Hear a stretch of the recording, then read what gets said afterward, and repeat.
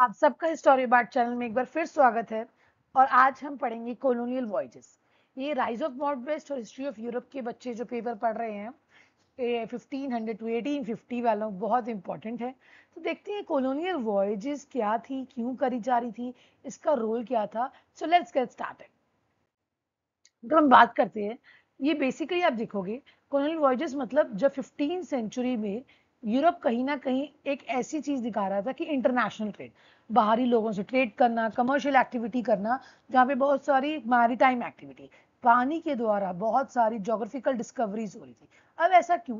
क्योंकि जब हम बात करते हैं बेसिकली इस टाइम पीरियड पे आपको थोड़ी सी हिस्ट्री पता होनी चाहिए जो आपको समझनी पड़ेगी।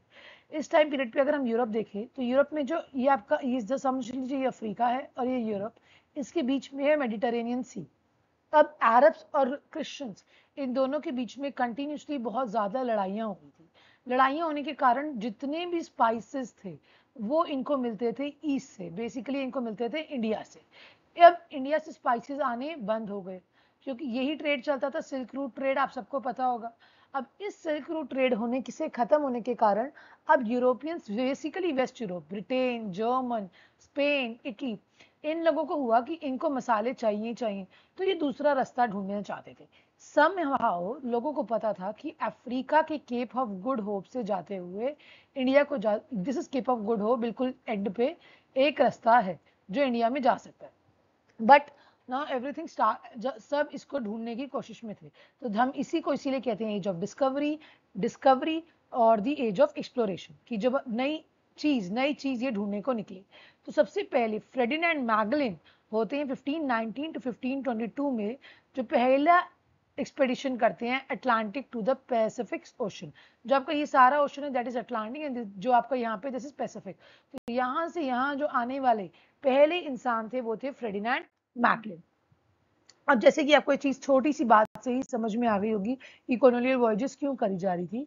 तो बेसिकली ये सारी शुरुआत होती है आइबेरियन पेनसुला आइबेरियन पेनसुला जो यूरोप के बिल्कुल दो एंड में दो स्टेट्स हैं पोर्चुगल और स्पेन दो छोटी स्टेट्स इनसे हम आइबेरियन पेनसुला से ये सारी शुरुआत होती है। यूरोप में आप देखेंगे फिफ्टीन एंड सिक्सटीन सेंचुरी में कहीं ना कहीं शुरुआत करी जाती है कि जो नेटिव स्टेट्स है, उनको दोबारा शेप करने की, पैसा इकट्ठा करने की।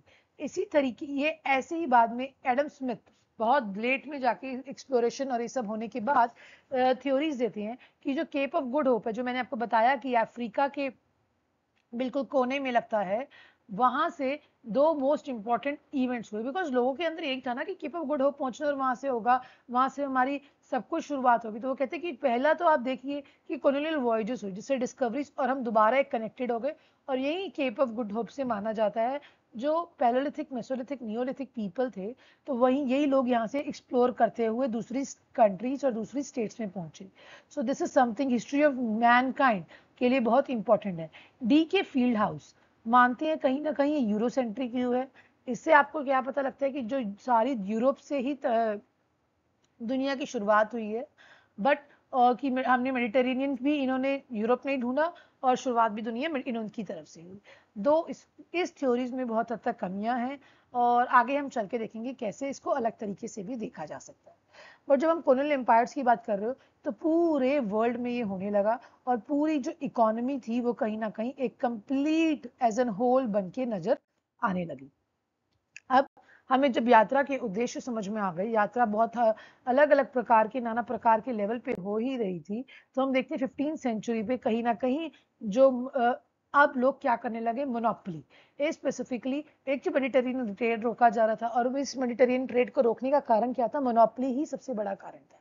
ये लोग चाहते थे कि हमारा दाम पत्ते चले, हम लोगों में से हम ही लोग ट्रेड करें, जितने भी स्पाइसेस कॉटन क्लोथ और जितने भी ऐसे लेवरेंट जितनी भी चीज़ें होंगी, कुछ ही लोग, कुछ ही मर्चेंट्स लेके आएँगे तो वो बहुत महँगा बेच रहे थे।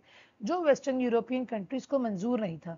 जीवी स्कैमल बात करते हैं कि अगर हम गवर्नमेंट ऑफ़ मोटिव्स इसमें अब बात करते हैं कि एक नहीं था बट जीवी स्कैमल आपको जैसे कि पता है, अपने आंसर्स में हिस्टोरियोग्राफी डालनी बहुत ज़रूरी होती है। तो जीवी स्कैमल बात करते हैं कि कोई एक मोटिव नहीं था, पर बहुत सारे मोटिव्स थे इस यूरोपियन कॉलोनाइजेशन को लेके आने थे। सबसे बड़ी बात पर हम मानते हैं थ्री जीज अगर आप कहीं भी किसी भी वेबसाइट पे पढ़ेंगे तो that is three G's God gold and glory this is God पहला था कि भगवान, कि हम भगवान का सब मान रहे थे कि हम क्रिश्चियनिटी का जिस तरीके से मुस्लिम्स ने ये अपना रिलीजन फैलाया है तो हम अपना रिलीजन फैलाने के लिए निकले हैं तो दैट इज़ गॉड सेकंड वो माना जाता था दैट इज़ ग्लोरी कि हम अपना रिलीजन को नहीं, साथ में हम यूरोप को एक्सपेंशन और यूरोप की स्टेटस हाइयर स्टेटस निकालने निकले एंड गॉड गोल्ड कि हमें गोल्ड चाहिए, पैसा spices money wealth so this is something माना जाता था कि यही तीन रीजन है जिससे सब कुछ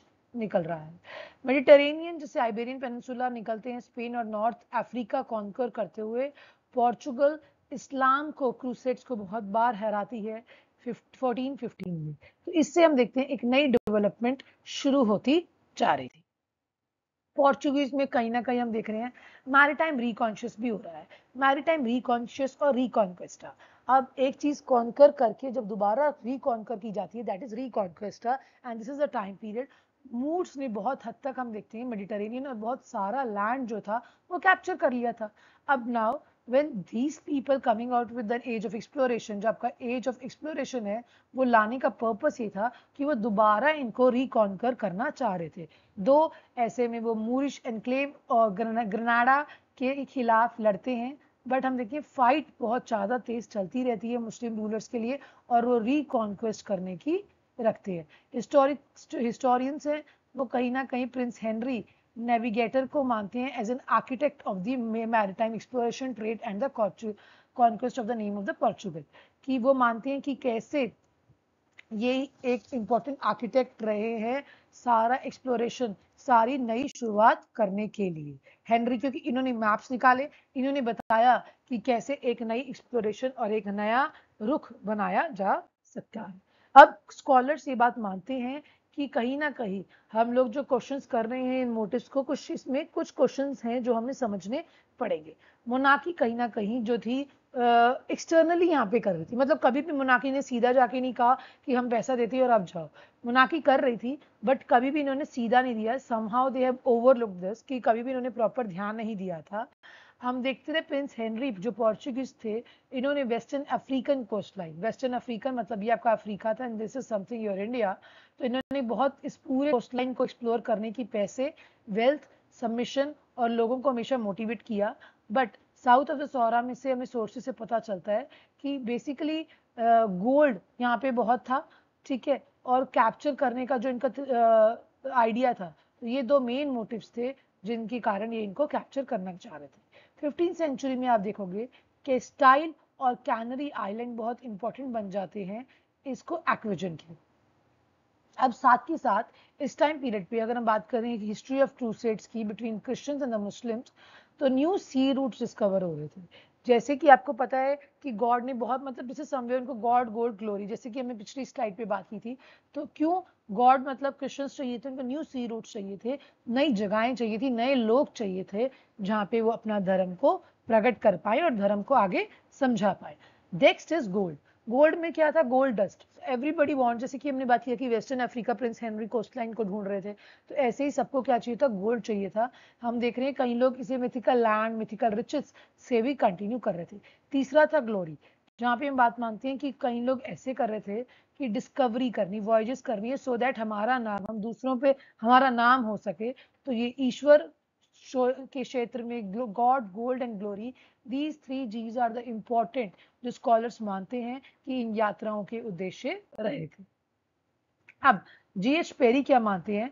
जो ये क्योटा था, ये ये सब चीज़ें, ये सब जो 1415 में क्वेटा पोर्चुगीज ने हिराते हैं तो वहीं से एक क्रूसेट की जील कि अब हमें आगे भी और लोगों को हराना है, और मुस्लिम्स को हराना है, और अपना धर्म को आगे चलाना है। ये इससे मानते हैं कि शुरुआत होती है, और कहीं ना कहीं इससे दो ये रिलीजियस था बट इससे हम देख रहे हैं कि यूरोपियन कॉमर्स शुरू हो रहा है। यूरोपियन की आइडियाज़ यूरोपियन ट्रेड समवेयर इस चीज़ से हम देख रहे हैं शुरुआत होती है that led to the monopolies and advancement in the Christendom इस तरीके से मोनोपलीज और क्रिश्चियनिटी आगे जाके फैलती है। जैसे कि हमने बात की थी बच्चों प्रिंस हेनरी जो है, जिन्होंने सारी शुरुआत करी और सारे मैप्स वेस्टर्न कोस्ट लाइन इन सब पे उनका बड़ा ध्यान रहता था। तो उन्होंने काफ़ी सारे इट्स नॉट समथिंग उन्होंने क्रिश्चियनिटी वर्शिप ऑफ़ क्रिश्चियनिटी को भी दिया। क्योंकि कोई भी, इस टाइम पीरियड पे, जिस टाइप का चर्च का सिस्टम था चर्च इतना पावरफुल था कि अगर आपको कोई भी रेफॉर्मेशन या कोई भी लॉ कोई भी चीज़ लानी है, आप बिना चर्च की परमिशन के नहीं ला सकते थे। एक नई, दूसरी वीडियो में आपके साथ लेके आऊँगी दैट इज़ रेफॉर्मेशन जिसमें आपको पढ़ाएँगे कि कैसे कोलोनियल वॉयजेस कहीं ना कहीं रेफॉर्मेशन रेनिसा भी इनके कारण बन रहे थे। तो इंटरनल पॉलिटिक्स यहाँ पे हो रही थी बहुत ज़्यादा। कुछ पर्सनल फैक्टर्स भी थे, जब आप देखोगे कि अटलांटिक कोस्ट ऑफ़ अफ्रीका में ये सारी चीज़ें नॉर्मलाइज होते जा रही थी। सिंस आप देखोगे मिलिट्री एक्सपेंशन नोबिलिटी को दिया जा रहा था धीरे धीरे धीरे एक्सपैंड होते होते रॉयल ट्रेजरी बहुत हद तक एक्सपैंड कर दी गई। रॉयल ट्रेजरी जब ये धीरे धीरे धीरे एक्सपैंड करते गए Africa somewhere is known for its gold Africa क्योंकि हेनरी ने बेसिकली अफ्रीका ढूँढने का कारण यही था अफ्रीका की पूरा वेस्ट कोस्ट लाइन, पश्चिमी जो उसकी कोस्ट लाइन है, जो आपको मिलती है मान लीजिए अफ्रीका है तो दिस इज़ पूर्व और ये ये आपका पश्चिम है तो इसको पूरे को वो इवेलुएट करते हैं और जितने भी इसके ट्रेड की पॉसिबिलिटीज है कमर्शियल स्ट्रेंथ गोल्ड को लाते हैं, दो हेनरी ने स्टार्ट किया बट हम देख रहे हैं कि इससे इनकी मोनोपली इनके ट्रेड के ऊपर और और एक्सप्लोरेशन जो ये कर रहे थे, इस पर बहुत बड़ा इम्पैक्ट पड़ता है। After that they come to know कि कहाँ पे इंडिया है, कहाँ पे एक पॉलिटिकल पॉसिबल मैप है। अगर आप कहीं भी पुराने मैप्स देखिए तो पहले माना जाता था जो वर्ल्ड है, वो एक चाय की प्याले की तरह है लाइक like दिस पूरा गोल नहीं माना जाता था, ना कि तो फ्लैट तो समवेयर और उसमें आपको पूरे वर्ल्ड में अमेरिका कहीं था ही नहीं। It's only with the Columbus discovery in the 1492 हमें पता चलता है कि ये सारी डिस्कवरीज हो रही थी। ठीक है automatically it's not only the reason हम देखते हैं 1436 में, जो 1436 में और भी डेवलपमेंट्स थी जिसका ये सब कारण बन रहे थे। 1436 में प्रिंटिंग मशीन आ गई, जब लोग पढ़ने लिखने लगे, उसके बाद 14 साथ की साथ आप देखोगे, आगे 1516 1517 में रेफॉर्मेशन होता है मार्टिन लूथर तो ये सब कहीं ना कहीं चीज़ें इंटरकनेक्टेड थी, जहाँ हम देखेंगे कि एक शेयर अर्ज़ होती है डिस्कवरी की, दो बहुत छोटे साइज़ पे बट एक न्यू चीज़ डिस्कवर हो रही थी जिसको हम ओवरलुक uh, नहीं कर सकते। हम इसको दैट इज़ समथिंग हमें हमारी नज़र से हमेशा इसको देखना बनता है।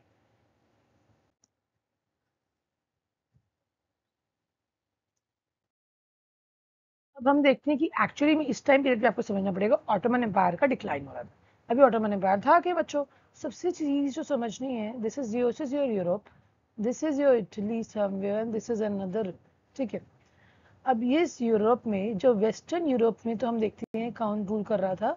रोमन एम्पायर तो ये रोमन एम्पायर था और इस साइड था आपका ईस्टर्न यूरोप में ऑटोमन एम्पायर टाइम एक टाइम आता है that the entire Roman Empire तो फिफ्थ से फोर्थ फिफ्थ सेंचुरी में हो जाता है decline but this Ottoman Empire continued और it will decline in the 1453 1453 में ये टर्क्स के हाथों में आ जाता है और जिससे कि डिक्लाइन हो जाता है। अब टर्क्स के हाथों में आने से ये क्या करते हैं? ये जितना भी ट्रेड रूट है, इसको ब्लॉक कर देते हैं। ट्रेड रूट ब्लॉक करने के कारण इनको कुछ जो भी स्पाइसेस थे, वो बहुत महँगे बेचने लग जाते हैं ओवर प्राइसिंग करते हैं, जिससे कि हम देख रहे हैं, जो टर्क्स है, वो लेबनेंट को कहीं ना कहीं कॉन्कर कर लेते हैं और पोर्चुगीज बहुत हद तक अपने टैक्सेस को ख़त्म करते जाते हैं। अब आप देखेंगे बेसिकली ये डुअल मोटिव से था। इसके पीछे दो मोटिव्स थे इंपीरियलिज्म के बर्नैल डियाज बात करते हैं कि जो कॉन्केस्ट ये ये सब कुछ क्यों हो रहा था? जो कॉन्केस्टिडोर्स थे इन मैक्सिको इन 1519 वो कहते हैं we come here to serve God and also to get rich जैसे कि दो चीज़ें, हमने तीन चीज़ें बात की थी तो कई लोग अलग अलग इतिहासकार, दो, कुछ तीन तो कुछ अलग अलग और रीजंस बताएँगे बट समवे यही तीन रीजंस रहते हैं इन सबके पूरे इंपीरियलिज्म होने के, शुरू होने के और कॉलोनियल वॉयजेस के। अब जो आपको समझना है, काफ़ी सारे मोटिव्स थे। कोई एक सिंगल मोटिव नहीं था। एक सबसे इंपॉर्टेंट मोटिव था इनका डेमोग्राफिक फैक्टर्स डेमोग्राफिक फैक्टर्स आप देखोगे स्कॉलर्स बताते हैं कि मेडिटेरेनियन कहीं ना कहीं मेडिटेरेनियन में बहुत ज़्यादा पॉपुलेशन बढ़ती जा रही थी। बहुत सारे इमिग्रेंट्स आ रहे थे, जिसको अब एक तो ऑटोमेटिकली आप देखोगे कि वॉयजेस हो रही हैं। वॉयजेस हो रही है कंटिन्यूसली पॉपुलेशन आ रही थी। अब इस इस पॉपुलेशन ने क्या करना शुरू किया? पार्टिसिपेट करना शुरू किया इस वॉयजेस में। That is somewhere because this is very lucrative बहुत लुक्रेटिव है। सारे जो इतने हाई टैक्सेस वो पे कर रहे हैं somewhere it will get reduce to very minimal तो हम देख रहे हैं दैट इज़ द थिंग ये सारी चीज़ें ऑटोमेटिकली हो रही थी। टाउन्स बढ़ते जा रहे थे, जिससे कि इटालियन में मर्चेंट्स और बैंकर्स को भी बहुत फ़ायदा हो रहा इसके बाद हम बात करते हैं कि कुछ ओवरसीज एक्सपेडिशन भी हो रहे थे जो लैंड और रिसोर्सेज प्रोवाइड करा रहे थे। अब ओवरसीज मतलब एक तो हो रहा था कि सी की मतलब सी के पार करके बहुत सारे लोग क्या कर रहे थे, जा रहे थे और उससे रिसोर्सेज मिल रहे थे। हम देखते हैं जो कुछ इनिशियल वॉयजेस थी, शुरुआत की वॉयजेस थी यूरोप की पॉपुलेशन बहुत स्टैटिक रहती है, कुछ ज़्यादा चीज़ें नहीं करती है। बट ओनली जो आप, जितनी भी डेवलपमेंट हो रही थी although it was started by the Iberian peninsula और आइबेरियन पेनसुला में दो ही चीज़ें आती हैं बच्चों, याद रखना है पोर्चुगीज और स्पेन अब ये स्पेन कहीं ना कहीं काफ़ी सारे अपने, ये कॉन्टीन्यूसली एमिग्रेंट्स स्टैब्लिश कर रही थी अमेरिका में and Spain basically in America and Portuguese is in the India तो ये कहीं ना कहीं अपने नेबर्स और ये चीज़ें बनाए जा रहे थे. आफ्टर दैट जितनी भी इनकी मोनाकिस थी ये दूसरों से सपोर्ट ले रहे थे सो दैट ये कोलोनियल जितने भी वॉयजेस हैं, उसको फर्दर एक्सपैंड कर पाए। अब स्कैमल स्कैमल बात करते हैं कि इस सब चीज़ों ने बिकॉज़ वाई दिस स्टार्टेड उन्होंने सोचा ही क्यों? जैसे कि हमने बात की 1453 में ट्रेड ब्लॉक हो रहा है टर्किश अटैक हो रहा है क्रूसेड्स हो रहे हैं तो जितना भी एशिया का रूट है, जहाँ से एशिया से फ़ूड आना है स्पाइसेस आनी है, वो रुक जाता है। अब इनके लिए स्पाइसेस इंपॉर्टेंट थे because they have a more of a pronounced non vegetarian diet non vegetarian diet होने के कारण अगर कोई भी चीज़ को मीट को प्रिजर्व करना है दे नीड स्पाइसेस जो स्पाइसेस अवेलेबल नहीं थे।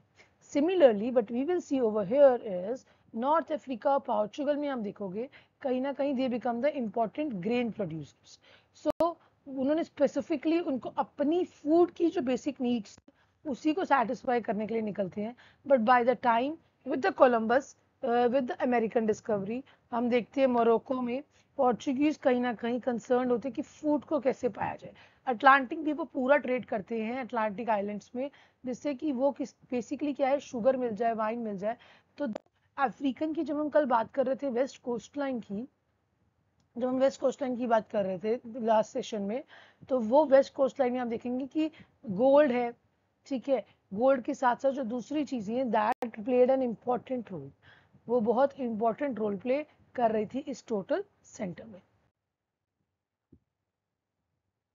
तो not only gold but also food spices are one of the important reason for the colonial colonial voyages. Further demographic dividend जो जनसंख्या बढ़ रही थी वो अलग अपने आप में बन जाता है। अब कुछ इतिहासकार इसमें बहुत इंपॉर्टेंट है। अगर आप अपने आंसर में ये दोनों लिख के आएँगे then you will ultimately get the option आपको चांस मिलता है इसको करने का। तो रैव डेविस कहीं ना कहीं बताते हैं कि जो इकोनॉमिक स्ट्रेस है इस टाइम पीरियड पे, वो बहुत ज़्यादा हो रहा था। बहुत इंपॉर्टेंट रीज़न है वॉयज करने का। बिकॉज़ पैसा कम होता जा रहा है। साथ ही साथ इंटरनली पॉलिटिक्स बढ़ती जा रही है। पॉपुलेशन इतनी ज़्यादा है कि जगह नहीं है। तो आप देखोगे कि कहीं ना कहीं ये सारी कारण बनते हैं यूरोपियंस की डिज़ायर की, कि कैसे वो अपनी बुलियन जो उनके पास पैसा है शॉर्टेज हो रही है, उसको डील कर पाए। साथ ही साथ पोर्चुगीज बहुत खुश थे कि उन्हें गोल्ड मिल गया था। बट वो क्लियर नहीं थे कि कैसे उनका इनिशियल मोटिव नहीं था। बिकॉज़ वेस्टर्न अफ्रीकन कोस्टलाइन से उन्हें मिल रहा था गोल्ड मिलता था। बट कितना और भी आगे बुलियन चाहिए, और भी ट्रेड चाहिए तो दे आर सर्टन थिंग्स जब पोर्चुगीज क्लियर नहीं होती but by the time economic determinants पैसा बहुत इंपॉर्टेंट हो जाता है because this is something Portuguese क्या थी एक poor and over populated country Braudel कहीं ना कहीं डिनाई करते हैं ये बात कि पोर्चुगीज पुअर कंट्री थी, इसीलिए इन्होंने ऐसी कुछ शुरुआत की। बट अगर हम देखें कि कुछ ओशियानिक रूट्स जो थे, वो बहुत इंपॉर्टेंट रोल प्ले कर रहे थे इस टाइम पीरियड पे। किंग मैनुअल पोर्चुगल की बात करते हैं फिलिप टू स्पेन की, ये सब अगर हम देखें तो बहुत लाविश लाइफस्टाइल नो डाउट जी रहे थे। बहुत फैंटेसाइज लिटरेचर में बहुत ज़्यादा इन लोगों का कंसर्न था। मिशनरीज कॉन्केस्टिडोर्स तो ये सब एक्चुअली में जब पुरानी रिलीजन लिटरेचर कवर अप कर रहे थे तो उसी कारण में ये बहुत इंपॉर्टेंट कारण बन जाता है इसके एमरजेंस का। बहुत बड़ा इंपॉर्टेंट रोल चीज़ आती है कि ये सब चीज़ें शुरुआत ही कब से हुई, कैसे हुई? कोई एकदम से 14 15 14 या 15 सेंचुरी में ट्रेड ब्लॉक हो गया। ट्रेड ब्लॉक होने का मतलब है कि सब कुछ एक नई शुरुआत होगी। No no. ये सब हम देख रहे हैं, ये जितनी भी चीज़ें हैं that is somewhere already there आप पोटैलमी देख लीजिए जोग्राफी स्ट्राबोस ये अगर लैटिन में ट्रांसलेट होने लगी, पहले ये टेक्स्ट थे नहीं। But within the ancient period itself लोगों ने इंडिया के बारे में बात की है प्रोजेक्ट किया है कैसे क्रिस्टोफर द पेरी इमेजो मुंडी फिफ्टीन सेंचुरी में ढूंढते हैं ये basically this is something you need to remember he used to find it out Christopher Perry imago mundi in fifteen century में ईस्ट वर्ड का रूट देखते हैं एशिया की तरफ़. और यही बताते हैं जो आपका दिस uh, अफ्रीका का केप ऑफ़ गुड होप है. He is the one who actually come out with idea कि ये एक तरीका है. तो अर्ली जितनी भी एक्सप्लोरेशन हो रही थी नेविगेशन नेविगेशन करने लगे मैप्स की बात होने लगी तो मार्को पोलो, निकोलो कॉन्टी, ये हमें पता है कि इंडिया में आके विज़िट करने लगे यहाँ यहाँ की वेल्थ यहाँ के लोगों के रिचेस के बारे में बताने लगे। तो समवेयर एक न्यू मोटिवेशन न्यू जील भी आने लगी कि इन लोगों के पास बहुत पैसे है। साथ में कुछ और ऐसी बुक्स ट्रांसलेट होने लगी, जो बताती है कि हिब्री और में जो बताती है कि प्रैक्टिकल मेन्यू लैटिट्यूड्स के बारे में लॉन्गिट्यूड्स के बारे में, कि कैसे मूव ऑन करा जा सकता है, कैसे अर्थ के ऊपर आप डुवेल कर सकते हो। कैटलन हाइड्रोग्राफर्स बनाने लग गए, जहाँ पे वो चार्ट्स बना रहे थे सी के अपने एक्सपीरियंसेस कर रहे थे कि कहाँ पे, किस टाइप की सीज फ्री आपको, आप कोलिन वॉयजेस समवेयर आप पूरी वॉयज करोगे पानी में रह के तो किस तरीके से रहना है। साथ ही साथ आप देखोगे कि इस टाइम पीरियड पे नेविगेशन और कार्टोग्राफी की भी बहुत डेवलपमेंट होने लगी। Cartography is study of the maps maps की जो स्टडी होती है, उससे हम कार्टोग्राफी कहते हैं। तो कैसे नेविगेट करेंगे कंपास से? कंपास का यूज़ लैटिट्यूड लॉन्गिट्यूड ये सब भी distance these are the important things जो चार्ट में डेवलप होके आने लगी। तो हम देखेंगे तकनीकी ज्ञान की भूमिका बहुत इंपॉर्टेंट रोल प्ले करने लग जाती है। नो no डाउट इस टाइम पीरियड पे फर्दर अब उन्होंने लैटिट्यूड लॉन्गिट्यूड को समझने के साथ साथ क्या चीज़ लेके आते हैं? वो स्टार्स स्टार से समझने लग जाते हैं। कि स्टार्स का कैसे यूज़ है और किस तरीके से वो पहुँच सकते हैं एक दूसरे से 1462 टू 1480s जितने भी एस्ट्रोनॉमर्स थे अभी तो एक, एक है कि कुछ मैप वाले एक कार्टोग्राफर्स हैं नेविगेशन सीखेंगे लैटिट्यूड लॉन्गिट्यूड सीखेंगे बट अब एस्ट्रोनॉमर्स भी इस पूरी वर्जिस में हेल्प आउट करने लगे that is somewhere another role of people जो आप बात करते हैं वो पॉल स्टार की साउदर्न हेमिस्फीयर की कि किस तरीके से सन की मूवमेंट से हम पता लगा सकते हैं कि कहाँ पे पानी और पानी का बहाव कहाँ पे बेटर सीफरिंग हो सकती है सो ऐसी चीज़ें। उसके बाद this is also time period जब चाइनीज़ अपना मैग्नेटिक कंपास ले आते हैं। अब मैग्नेटिक वेव्स हैं पूरे अर्थ पे तो उस चीज़ को अरब नेविगेटर से फर्दर वो परफेक्ट किया जाता है। देन सेलेस्टियल नेविगेशन जैसे मैंने आपको बताया स्टार से क्वाड्रेंट्स वर प्रोड्यूस क्वाड्रेंट्स ये सब हम देख रहे हैं, ये सारी चीज़ें डेवलपमेंट में आने लगी। अब सिक्सटीन सेंचुरी में आप देखोगे मैग्नेटिक कंपास आने से जॉ दी लेस्बन कहीं ना कहीं जॉ दी लिस्बन, डिटरमाइन करते हैं मैग्नेटिक डिक्लिनेशन। वो क्या देखते हैं कि कहीं ना कहीं जो पूरा मैग्नेटिक या जो मैग्नेटिक वेव्स हो रही हैं, वो कम होते जा रही थी। एक कार्टोग्राफर मकैटर प्रोजेक्ट करते हैं कैसे एक accurate picture on the piece of a paper this time period में जब कहीं ना कहीं मैंने आपको बताया था कि एक ऐसा कभी कॉफ़ी के मग शेप तरीके से देखा जा रहा था। तो इट्स नॉट ओनली दैट बहुत सारी चीज़ें इन्वॉल्व होने लग जाती हैं। साथ ही साथ आप देखेंगे कि गन पाउडर का भी बहुत इंपॉर्टेंट यूज़ होने लग जाता है। अब गन पाउडर मतलब आपके एक अगर एम्पायर को कैप्चर कर भी लिया तो आपके पास पावर पॉलिटिक्स और साथ में हम देख रहे हैं कि पूरे वेजेस में पूरा आपका जितनी भी ये एम्पायर जितना भी आपका अर्थ है तो अर्थ के साथ साथ क्या था? This is the entire ocean में जो सीफरिंग कर रहे हैं, इस इंटायर ओशन के लिए क्या चाहिए अब उन्हें? This requires complete piracy pirates बहुत घूम रहे हैं, बहुत सारे वॉयजर्स हैं अलग अलग कंट्रीज़ के। उनके साथ लड़ने के लिए that is somewhere the ships played an important role now continuous threat रहता था कि ये डूब ना जाए। So somewhere they have come out with an idea इन लोगों ने क्या करना शुरू किया? To make them lighter slimmer पतले, वो स्पेसिफिकली मिलिट्री स्किल्स के लिए काम आने लगे और हम देख रहे हैं ये सी गोइंग वेसल्स और ऐसे बहुत इजीली बिकॉज़ अगर हम बात करें नो डाउट नेविगेशन ही नहीं आता था और आइबेरियन पेनसूला सबसे बड़ी बात है क्यों? क्यों ही शुरू हुआ आइबेरियन पेनसूला में? This is an another important Portugal Spain ने क्यों किया? बिकॉज़ आप ये देखिए ऑटोमेटिकली इनकी नेविगेशन की टेक्निक अच्छी थी। They are somewhere around the ocean ocean के आसपास रहते थे तो ऑटोमेटिकली इन सब चीज़ों ने इनको मोटिवेट किया और that comes out with this अब आपको समझना है, इसमें रेनेसा का क्या इंपॉर्टेंट रोल था? अब रेनेसा मतलब पुनर्जागरण। पुनर्जागरण जब लोगों ने अपने जितने भी टेक्स्ट थे, उनके ऊपर वापस जाना शुरू किया और उनसे ये चीज़ें दोबारा समझनी शुरू की। प्रिंटिंग प्रेस, जैसे हमने बात की थी 1436 में आती है, जहाँ पे बहुत सारे टेक्स्ट अब पहले तो टेक्स्ट प्रिंट में बहुत सब कुछ मिलने लगती है, फिर लोग ट्रांसलेट करने लगते हैं। तो सब की जितने भी अपनी अपनी भाषाएँ थी, वो ट्रांसलेट होने लग जाती हैं। साथ ही साथ एरिस्टोटल स्ट्रैबो इन सब के टेक्स्ट भी ट्रांसलेट होने लग जाते हैं। तो हम बेसिकली देखते हैं टू स्कूल्स ऑफ़ इंटरप्रिटेशन दो स्कूल्स आते हैं, एक आता है रेनेसा स्कूल जो मानता है कि इस टाइम पीरियड में रेनेसा ने क्या किया? क्यूरियोसिटी आने लगी लोगों के बीच में। एक डिज़ायर थी कि हमें जब लोगों के फेम आता है कि मुझे भी इज़्ज़त चाहिए I also need a respect new world की डिस्कवरी करने का बहुत एक एक न्यू ग्लोरी आने लगी। एंड आफ्टर दैट जब एक बार कोलंबस ने कर लिया 1492 में कोलंबस ने अमेरिका मिल गया तो ऑटोमेटिकली एक न्यू झील आ चुकी थी। And this is an also time period Renaissance में पुराने टेक्स्ट ट्रांसलेट हो रहे थे जहाँ पे इंडिया की बात होती है इंडिया के रिचेस की बात हो रही है दैट फर्दर मोटिवेटेड देम तो कहीं ना कहीं वॉयजर्स कोलंबस जहाँ वो जिनोवा पे आते हैं ये सब चीज़ें हम देख रहे हैं कि कारण बन जाते हैं अब और दूसरा पर्सपेक्टिव माना जाता है कि ये ओवरसीज एक्सप्लोरेशन करने का कारण क्या था कि जितने भी आप देखो कि economic basically not only the Renaissance कहीं इनको फेम नहीं चाहिए ग्लोरी नहीं है this is somewhere related to your glory but ये कह रहे हैं कि ग्लोरी नहीं चाहिए राधा क्या चाहिए? Fame oh sorry economic economic aspect है जिसमें डील कर रहा है। स्पेन पोर्चुगल कहीं ना कहीं इस मामले में हम देखते हैं, एक ह्यूमन हिस्ट्री में एक नया ब्रेक शुरुआत करते हैं, जहाँ पे एक्सपेंशन कॉलोनाइजेशन का फर्दर प्रोसेस ब्रॉड हो जाते हैं।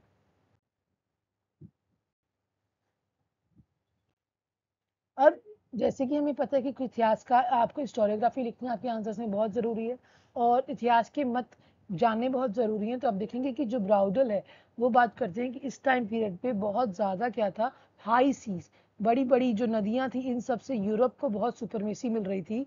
पोर्चुगल कहीं ना कहीं जो कॉलोनीज थी Cape Verde Madeira Azores coast of Brazil forts settlement ये ये सब, ये जितनी भी चीज़ें थी मक्का, मलक्का, जावा सरीब स्पेन ये सब हम देख रहे हैं, बहुत इंपॉर्टेंट रोल प्ले कर रहे थे सेंट्रल अमेरिका ये जितनी भी ऑक्यूपेशन है, ये जितनी भी डेवलपमेंट हो रही थी, यहाँ पे हम क्या देख रहे हैं कि that is somewhere it's give a high sea give a world supremacy कि अगर ये इनको कैप्चर करने के बाद दे कम टू नो कि एक फेम बहुत इंपॉर्टेंट रोल प्ले करेगा, उसके बाद they only become a single most important power in the entire world so ये सारी जो चीज़ें थी ऑटोमेटिकली एक ऐसा आस्पेक्ट एक यूफोरिया क्रिएट कर रही थी यूरोपियंस के बीच में, जिनको उन्होंने कॉलोनियल वॉयजेस की शुरुआत उनको करने पे मजबूर करा जाता अब since there are so many reasons तो हम देखते हैं पोर्चुगल कहीं ना कहीं और क्या कर रहे थे। Seafaring people commercial class यहाँ पे मर्ज होने लगी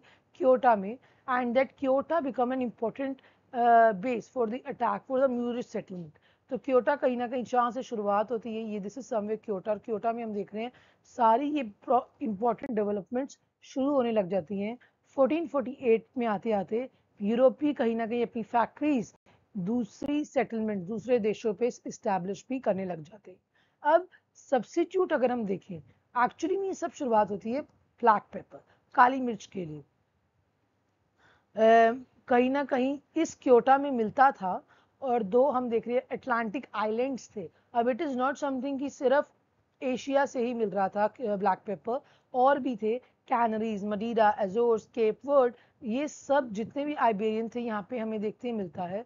दो, ये बहुत डिप्लोमेटिक मूव रहता है, जब पोर्चुगल कहीं ना कहीं अपने ट्रेडर्स को एक्सप्लोरर्स को बड़े तरीके से यहाँ पे चीज़ें ला रहे थे। जॉन टू ने एक फोर्ट भी बिल्ड करते हैं Elmina in the Gold Coast की गोल्ड ट्रेड गोल्ड के ट्रेड के लिए वो एक फोर्ट बनाते हैं सो so दैट ये दो, यहाँ पे प्रॉपर गोल्ड का ट्रेड हो पाए गोल्ड की कोस्ट बन पाए, और अफ्रीकन रिसोर्सेज को एक्सप्लॉयट किया पा जाए। साथ ही साथ आप देखोगे, इसी के चलते एक होती है ट्रीटी ऑफ़ अलाकावोस अलाकावोस जहाँ पे स्पेन पोर्चुगल डिसाइड करते हैं कि हम स्पेन जो होगा पोर्चुगीज कहीं ना कहीं क्लेम कर सकते हैं फ़िश ट्रेड और नेविगेशन जितनी भी वेस्टर्न अफ्रीका की इन्होंने एक्सप्लोर किया था, अब इन दोनों ने मोनोपली करें कि हमारे अलावा कोई और यहाँ पे कोई भी रिसोर्सेज लेके नहीं आ पाएगा.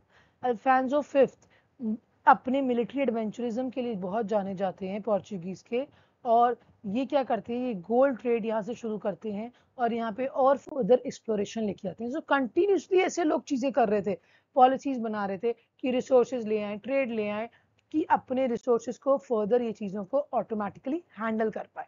This automatically comes out with the royal mechanism जैसे कि हमने जॉन की बात करी तो ये लोग बहुत इंटरेस्टेड थे पूरे मूवमेंट को अपने आइडिया में लाने के लिए, अपने हाथ में लाने के लिए। तो रॉयल मर्केंटलिज्म इज़ समथिंग कि जितनी भी आपकी मर्चेंट जितनी भी आपकी एक्टिविटीज़ होंगी मर्केंटलिज्म जितनी भी ट्रेड एक्टिविटीज़ कमर्शियल एक्टिविटीज़ होंगी, वो रॉयल रॉयलिटी के कारण होगी। तो ये हम देख रहे हैं कि बहुत सारे एक्सप्लोरर्स इस टाइम पीरियड पे आ रहे थे, जो पुराना स्पाइस ट्रेड छोड़ के नए तरीके ढूंढ रहे थे। क्रिश्चियनिटी फैलानी थी, क्योंकि आगे उनको कोई ना कहीं चर्च से सपोर्ट मिलेगा, तभी वो कॉलोनियल वॉयजेस और कभी वो ऐसी चीज़ें कर पाएँगे।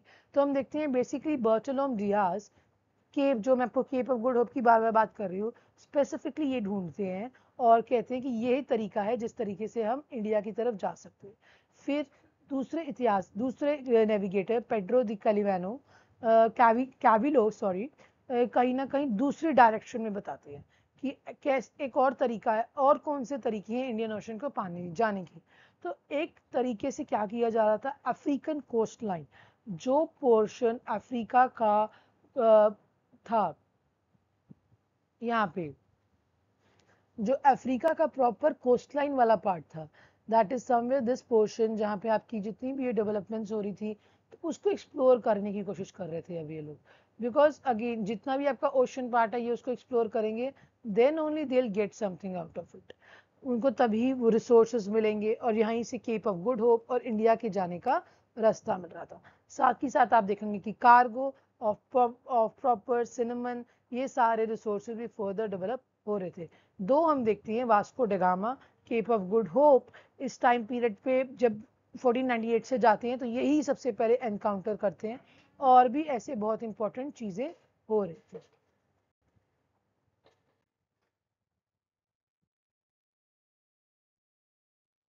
अब कोलंबस की बात करते हैं अब। कोलंबस का भी बहुत इंपॉर्टेंट रोल क्योंकि कोलंबस अगर वास्को डेगामा ने इंडिया की करी तो कोलंबस सबसे पहले ही निकले थे। पूरी वेस्टवर्ड एक्सपेंशन और इंडिया को ही खोजने निकले थे। कोलंबस का बेसिकली आप देखते हैं कि बहुत अपनी प्रैक्टिकल नॉलेज अप्लाई करना चाहते थे इस वॉयजेस पे, इन सब चीज़ों पे। तो उन्होंने बहुत सारे आइलैंड्स वेस्ट इंडीज में डिस्कवर करते हैं, ठीक है? एंड उससे वो स्पेनिश प्रोसेशन का पार्ट बन जाते हैं। तो समय पोर्चुगीज की कॉलोनीज कोस्टल पे रहती हैं, पर स्पेनियार्ड्स की जो कॉलोनीज होती हैं वो फर्दर जाती है। जेनोवसी की फर्दर एक्सप्लेनेशन करते हैं। हम देखते हैं कि इवन यही लोग हैं जो स्पेनिश पीपल शुगर का बहुत अच्छा प्रोडक्शन कर रहे हैं और बहुत लंबे टाइम पीरियड पे ब्राज़ील पे भी ऑक्यूपेशन करते हैं। स्पेनिश रूलर्स कहीं ना कहीं जेनोवसी बैंकर्स फाइनली इस एक्सपेडिशन को सपोर्ट करते हैं। वो बहामा सैल सैल्वाडोर क्यूबा स्पेंसिया अजोर्स इन सबको ऑक्यूपाई करते चले जाते हैं। तो हम देखते हैं कि कहीं ना कहीं जितने भी आउटस्कर्ट्स ऑफ़ एशिया एशिया के बाहर जितने भी ऐसे आइलैंड्स आ रहे थे स्पाइसेस जो हो रहे थे गोल्ड नेटिव्स कहीं ना कहीं ये सब धीरे धीरे वो एनस्लेव कर पा रहे थे और क्रिश्चियनिटी की तरफ़ कन्वर्ट कर पा रहे थे। अब कोलंबस इन सब चीज़ों में ही नहीं कोलंबस बहुत सारी ऐसी वॉयजेस एक्सप्लोर करता है वेस्ट इंडिया में और डिस्कवर क्या करता है ट्राइंडैट 15 और 2 में ये वो डिस्कवर करता है हॉन्ड्रास निकागुरा पैना पनामा तो ये सारी जो चीज़ें हो रही थी, एक कॉलोनी ला इसबैला इस्टेब्लिश हो जाती है। कुछ स्कॉलर्स मानते हैं कि हम कहीं ना कहीं this is the time period that mark the बीज ऑफ़ इम्पीरियलिज्म जहाँ से एक संप्रदाय, एक चीज़ का जो रूल की बिगनिंग है, वो इसी सब चीज़ों से शुरुआत हो रही है। बिकॉज़ जब अमेरिका से नो no डाउट उन्होंने शुरुआत की, उनको मिला बट यहाँ से हमें क्या मिल रहा है कि यही टाइम पीरियड था जब पूरा कि अब एक एम्पायर का सिस्टम आएगा imperialism that is somewhere colonies जो लेटर ऑन डेवलप हो जाता है। जॉन टू कहीं ना कहीं मानते हैं कि कोलंबस ने ट्रीटी जो अलाकावास की करते हैं और साथ में स्पेनिश रूलर्स अलेक्जेंडर सिक्स क्या करते हैं? पैपल बुल्स पैपल बुल्स एक पेज होता था जिसमें बुल बना होता था। तो ये सब चीज़ें और वो जिसके पास होता था ही एज अथॉरिटी तो ये सब चीज़ें क्या होते थे कि ये सब इशू करने का कारण बन गया था इस तरीके से कोलंबस अपनी जो पावर है, वो उसको ड्रॉ कर रहा था। और बिकॉज़ समवेयर पॉलिटिकली उसको मिल रहा है रॉयल मर्चेंट मिल रहे हैं। साथ ही साथ अब अनदर ट्रीटी करते हैं that is treaty of Tordesillas Tordesillas का क्या होता है फोर्टीन नाइनटी फोर में पोर्चुगीज में रूट डिसाइड होता है कि जो अटलांटिक होगा वो पोर्चुगीज के पास रहेगा और एक इमेजिनरी लाइन बन जाती है एनाटीलिया जो ब्राज़ील मतलब South America is a part of Spain and North America is a part of Portugal जो धीरे धीरे बाद में पोर्चुगल से छीन लिया जाता है एंड पोर्चुगल को अगेन फिक्स कर दिए जाते हैं। That again creates a problem between the Britishers और हम देख रहे हैं ये कैसी एक अलग डेवलप की वो अलग बात है बट इस तरीके से अलग चीज़ें रहती है। बट एक टाइम पीरियड पे हमें ये भी पता चलता है कि पोर्चुगीज ने अपनी मोनोपली बना ली थी। मोनोपली बनाने के लिए कुछ ऐसे एक्सप्लोरर्स थे, वैसे पुसी सोलियास मैगलिन ये पूरी डिस्कवरी की क्योंकि ये ऐसे लोग थे पोर्चुगीज के पूरी इंफॉर्मेशन निकाल रहे थे किस तरीके से हर एक पार्ट की हर एक चीज़ की निकाली जाए।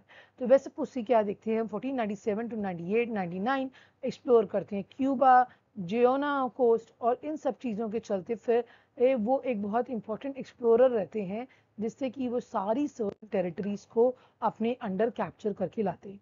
वो पूरे स्पाइस आइलैंड्स को के बारे में ट्रैवल करते हैं और जानते हैं। और जितने भी वेस्ट वर्ल्ड में बिकॉज़ ऐसा नहीं है ना कि इंडिया में मिलेंगे। कुछ हमने देखा कि मैगलन साउथ अमेरिका में फिलीपींस इन सब में भी बहुत इंपॉर्टेंट थे। तो नेविगेटर इस टाइम पीरियड पे बहुत पूरा वर्ल्ड समझते हैं कि वो एक राउंड है गोल है।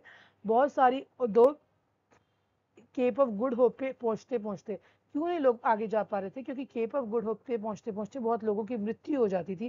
That is somewhere the sea free dangerous बहुत था इस टाइम पीरियड पे। ठीक है? तो एलमीडा कहीं ना कहीं पहले वाइसरॉय मानी जाते हैं पोर्चुगीज एशिया के जो इस एक्सप्लोरेशन को शुरू करते हैं। फिफ्टीन और फोर में कोचिन ओमरूज कैप्चर कर लेते हैं और फिफ्टीन टेन टेन में हम देखते हैं एल्ब्रेस गोवा को भी कैप्चर कर लेते हैं। So these are the important things कैसे पुर्तगाल इंपॉर्टेंट रोल प्ले कर रहा था। ओके okay, सो so अब क्या होता है? तीन मेन फोर्टेसेस जब धीरे धीरे इंडिया में वो अपना रूल रूल स्टैब्लिश करते हैं तो बेसिकली किलवा, ओमरूस, गोवा एंड केनोर पोर्चुगीज के हाथों में आ जाता है। इन पोर्चुगीज के हाथों में ये हम चीज़ देख रहे हैं कि विद समथिंग जैसे कि एल्ब्रेस्क्यू हमने बात किया एल्ब्रेस्क्यू सबसे पहले ये वाइसरॉय और आई कैन से सबके हेड बन के आते हैं। वेस्टर्न इंडियन ओशन में पूरा सरफेस करते जाते हैं। पोर्चुगीज कहीं ना कहीं इस तरीके से एक ऐसी कोस्टल सेटलमेंट्स बना रहे थे जो सीधा बहुत सारी चीज़ों से रिलेटेड थी और हम देखते हैं somewhere that open towards the route towards the east कि धीरे धीरे धीरे धीरे जो इंडिया का वो पूरा पोर्शन है वो उसको कैप्चर करते करते करते दैट इज़ समवेयर कि वो जापनीज और ईस्ट एशिया को भी कैप्चर करना की कोशिश करते जा रहे थे। So this is something we will see ये कंटिन्यूसली ये जो ओशियानिक uh, ट्रेड है इस सबको वो सारे को कैप्चर कर रहे थे। पोप दी लियो कहीं ने इस चीज़ के लिए बुल इशू कर दिया पोर्चुगीज के फेवर में। दैट इज़ समवेयर कि वो अब उनको इस चीज़ से क्या मिलने लगी कि now they can do any of the discoveries अब से उन्हें इंडिया ही डिस्कवर करना, वो फर्दर जा सकते हैं और क्या बेसिकली कौन से गुड्स के लिए? Sugar spices gold and sleeves so these are the basic four that all although economic motive था बट बुल इशू करने से they have some, they have got some Christian की इनको अथॉरिटी मिल गई और इससे हम देखते हैं प्रॉपर ट्रांस अटलांटिक ट्रेड शुरू हो जाता है 1543 में। तो दिस इज़ समथिंग हम देख रहे हैं न्यू डिस्कवरीज 1540s के चलते बहुत सारा एक अलग लेवल शुरू कर देता है। अब जो कार्गोज थे the outward cargoes included manufacture goods which somewhere अब जितने भी वो बाहर से चीज़ें आ रही थी, वो अब क्या एक्चुअली में, हमें पता है ये बात कि जितने भी गुड्स थे, वो कौन से खरीदे जा रहे थे? खरीदे जा रहे थे कि हम रॉ मटेरियल लेके आएँगे और मैन्युफैक्चर प्रोडक्ट बेचेंगे। तो similarly these return cargoes and these things are already started by the time आप देखेंगे कि sugar increasing quantities of silver bullion tobacco so ये सब ऑटोमेटिकली अपने आप में एक पार्ट बन चुके थे। सिक्सटीन सेंचुरी के चलते हम देख रहे हैं मोनोपली हो गई थी स्पाइस ट्रेड की पोर्चुगीज की लिस्बन के ऊपर इंडिया के ऊपर सेवील तो जो ट्रांस अटलांटिक ट्रेड था स्पेन और स्पेनिश बेसिकली स्पेन कहीं ना कहीं अमेरिका की नीड्स पे था और पोर्चुगीज uh, पे आप देखेंगे कि इंडिया का ज़्यादा रोल और रेज हो रहा था। तो ऐसे बहुत सारी हम देख रहे हैं सेटलमेंट्स हो रही थी with that they also started with mining mining America में अमेरिकन कॉलोनीज में बहुत इंपॉर्टेंट रोल प्ले करती हैं पूरी सेटलमेंट्स में. देन सिल्वर माइंस इस टाइम पीरियड पे आप देखोगे कि बहुत सारी सिल्वर माइंस इस्टेब्लिश हो रही थी. That somewhere ensure sustain trade with the east ये सब क्या इशू कर रहे थे? कि इंश्योर कर रहे थे कि ट्रेड कंटिन्यूस ट्रेड होता रहे ईस्ट के साथ. अब हम बात करते हैं नेचर ऑफ़ पोर्चुगीज पोजेशन इनकी कैसी एम्पायर्स क्योंकि अभी तक जितने भी अभी कॉलोनियल एम्पायर्स बनेंगे, ये बिल्कुल शुरुआत होती है। तो सबसे पहले ऐसा हमने अभी पढ़ा था, कि क्योटा होता है, जिसको उन्होंने कैप्चर करते हैं देन पोर्चुगीज एक पूरी चेन बनाता जाता है अपनी कॉलोनीज की। वर्ल्ड में अगर वर्ल्ड एक्चुअली में पूरा डिवाइड कर दिया जाता है केप ऑफ़ गुड होप जहाँ पे पोर्चुगीज का proper Cape of Good Hope से, जहाँ से पूरा पोर्चुगीज का कंट्रोल आता है। हिस्टोरियंस कहीं ना कहीं कहते हैं कि दो इट्स समवेयर कि ऐसा नहीं था कि पहले ये इन लोगों के आने से ही कोई चेंजेस हुए हैं। पहले भी चेंजेस थे। कोलोनियल एम्पायर्स में लाने का मतलब ये था white man burden okay oriental civilisation तो ये सब बेसिकली थी। ये लोग मानते थे, इनके आने से हम लोग, ये लोग जा रहे हैं सिविलाइज करने। इनका मोटिव एक और जब गोल्ड, गॉड, ग्लोरी तो अपने रूल को जस्टिफाई करने के लिए ये भी मान रहे थे। बट बहुत सारे हिस्टोरियंस मानते हैं, ये सिर्फ़ यूरोसेंट्रिक व्यू है। ये यूरोपियन इतिहासकार जो लिख रहे हैं, सिर्फ़ उन्हीं का ही मानना है। बाकी हम देखें तो ऐसा कुछ हो नहीं रहा था। पोर्चुगीज कहीं ना कहीं आप देखेंगे, काफ़ी ज़्यादा इनको मुश्किल आती है ईस्ट अफ्रीका से चाइना से जापान से। तो पोर्चुगीज और कोलोनियल गवर्नमेंट बहुत कुछ ज़्यादा डिस्टिंक्शन नहीं मेंटेन कर पाती, कोई ज़्यादा फ़र्क नहीं कर पाती कॉलोनीज और मेट्रोपोलिस में। मतलब जैसे कि कॉलोनीज जो मेट्रोपोलिस मतलब जहाँ से ये रूल करेंगी दैट इज़ मेट्रोपोल और कॉलोनीज जितनी भी इनकी कॉलोनीज थी तो वो उनके ऊपर रिसोर्सेज को एक डिवीज़न होना चाहिए तो वो ऐसा डिफरेंस नहीं कर पाती। और हम देखते हैं कि इसी कारण इनका डिक्लाइन होता है। काउंसिल ऑफ़ स्टेट हो काउंसिल ऑफ़ इंडीज हो, कहीं ना कहीं ये भी रिस्पॉन्सिबल थे ट्रेड बहुत ज़्यादा कर रहे थे बट इनमें नहीं हो पा रहा था। और देखते ही देखते ब्राज़ील पे भी इनका कंट्रोल चले जाता है विद द अटलांटिक कॉलोनीज तो पोर्चुगीज कहीं ना कहीं एक हम देखते हैं मॉडल बन चुका होता है बाकी सब एम्पायर्स के लिए। क्योंकि no doubt may be the first one will never win पहली बार जो चढ़ेगा वो ना जीते, पर वो एक सीढ़ी और एक रास्ता क्रिएट कर जाता है दूसरों के लिए। That is something this is happening over this time period अब देखते हैं एस सुब्रमण्यम कहते हैं इस टाइम पीरियड पे कि इंडियन ओशन कहीं ना कहीं कमर्शियल और मिलिट्री प्रेजेंस दिखाता है, जहाँ पे आपको बहुत ज़्यादा स्पाइस ट्रेड मिल रहेगा बिकॉज़ समवेयर बहुत थ्राइविंग था। अगर इन लोगों के आने से पहले भी 1500 टू 1700 और इनके आने के बावजूद भी एक थ्राइविंग ट्रेड एग्जिस्ट कर रहा था दैट इज़ नॉट समथिंग कि इस टाइम पीरियड के आने के बाद हो रहा था। पोर्चुगीज एम्पायर की जब हम बात करें, वो नो मोर नो डाउट वो एक यूनिफॉर्म भी नहीं था। इसके डिक्लाइन होने का कहीं और ये भी बात मानती जाती है, क्योंकि जो पावर्स थी वो इक्वली डिवाइड नहीं थी between viceroy governor and capital general इन सब में जो पावर का रिप्रेजेंटेशन है वो अलग अलग और हम देखते हैं कि कुछ कम ज़्यादा था। कुछ किंग्स मानते हैं कि लोकल रूलर्स ने इनको सुपरवाइज नो डाउट करने की कोशिश करी बट इतना नहीं था। हर एक फोर्ट के अंडर आप देखेंगे कि एक कैप्टन होता था। तो जितने भी फोर्ट ये बनाएँगे जितने भी एम्पायर में पहले जितने भी इनकी कैपिटल्स uh, होंगी कैपिटल्स के साथ जितनी भी इनकी स्टैब्लिशमेंट होगी उसके साथ जो भी इनका मेजर एडवांसमेंट होता था, उसको वो एक कैपिटल जनरल के अंडर रख रहे थे, जितनी भी एडमिनिस्ट्रेशन जस्टिस सब कुछ ला रहा था। बट जितने भी कैप्टन थे, उनकी सैलरीज बहुत कम थी और उस सैलरीज को कम होने के कारण हम देखते हैं पोर्चुगीज एम्पायर इतना अमेरिका के इतना ज़्यादा नहीं रह पाता और आउटसाइड अमेरिका बहुत ज़्यादा ए स्पेसिफिकली एशिया में ये लोग करप्शन इनएफिशिएंसी में चलते चले जाते हैं, जिससे कि स्पेन अमेरिका में तो फल फ्लरिश कर जाता है बट पोर्चुगीज नहीं कर पाते। अब अगर हम डिस्कवरी की बात करें, ब्राज़ील की कहीं ना कहीं with the discovery of the Brazil एक न्यू एलिमेंट आ गया था दैट इज़ शुगर शुगर का अगर आप बात करें तो sugar is already there with the African as well but इस ब्राज़ील की डिस्कवरी से न्यू हम देख रहे हैं कि न्यू जील आ गई थी सिसली शुगर ट्रेड शुरू हो चुका था, जहाँ पे sugar trade slave sugar trade और slave trade a specifically Brazil से शुरू होता है, जो King John three of Spain इसको बहुत प्रमोट करते हैं। ऐसे आप देखेंगे बहुत सारी ग्रांट्स दी जा रही थी, बहुत हेडिगोज हो रही थी, जो बहुत कॉस्टली भी थी, बहुत सारी चीज़ों की बट स्टिल ये एक न्यू इनिशिएटिव और न्यू जील पैदा करते हैं। ब्राज़ील कहीं ना कहीं हम देखें एक कैप्टनसी जनरल के अंडर था। मतलब वहाँ छोटे छोटे कैप्टन थे, यहाँ पे कैप्टनसी पूरी एक बड़ी कैप्टनसी जनरल थी और उसके ऊपर बढ़ती है वाइस रॉयलिटी तो समवेयर जो पावर थी स्पेन की, वो बहुत हेरारकाइज थी और जितनी भी आप देखेंगे, ऐसा ही स्पेन में भी वाइस रॉयलिटी और गोवा रिप्रेजेंट करती थी पोर्चुगीज सेटलमेंट की। तो कुछ ऐसे रिप्रेजेंटेशन पैरल चल रहे थे दूसरे एम्पायर में। देन ब्राजीलियन कहीं ना कहीं बहुत रूरल नेचर में था। Somewhere Atlantic captain sea captain general तो वो डायरेक्ट लिंक्स बना पाए एज कंपैरेटिवली इंडिया और एशिया जहाँ पे लोग बहुत वेल डेवलप्ड और आई कैन से करप्शन और इनएफिशिएंसीज के वो सीरी रोड्स बना पाए। ब्राज़ील सेटलमेंट की बात करें तो ये कहीं ना कहीं होम ऑफ़ गवर्नमेंट बन जाता है। बहुत सारी कॉलोनीज और ट्रिब्यूनल्स का हेडक्वार्टर्स इनका बनता है यहाँ पे लिस्बन 1604 टू 1614 कोहोना द इंडिया और इंडिया काउंसिल पूरा अफ्रीकन और ब्राजीलियन इनके मैटर्स देखती है। किसके देख रही है बट ये आपको समझना है? Spain this is something Spain ठीक है। Then you have another thing as well C C R Boxer इतिहासकार है, ये कहते हैं कि अगर हम सतारवीं सतारवीं शताब्दी सेवनटीन सेंचुरी ब्राज़ील को देखें तो आपको एक कंसोलिडेशन को हमें दिखने को मिलता है, एक गवर्नमेंट एक चीज़। एक आपको जब सिंगल अथॉरिटेटिव मेजर मिल रहा है तो दैट इज़ समवेयर इनका रीजन माना जाता है फ्लरिश कर रहे थे। Okay Casa da Ceuta, Casa da Guinea, Casa da Mina, ये सब इन्होंने लिस्बन यहाँ पे क्रिएट किया, जहाँ पे इनकी एक सेंट्रिक पावर हो पा रही थी।